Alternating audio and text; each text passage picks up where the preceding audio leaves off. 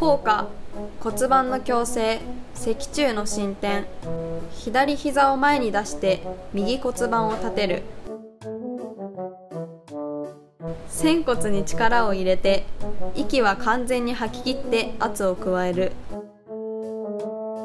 腰椎アーチ確保。仙骨に力を入れて立つ。何度か繰り返し立ち上がりでぐらつかないようにする。左膝前の時と右膝前の時を比較する。統計的には左膝前の方が立ち上がりやすい。セルフチェックとストレッチングを兼ねて行える。よしもう一回見ましょうか。ご視聴ありがとうございます。1分半か。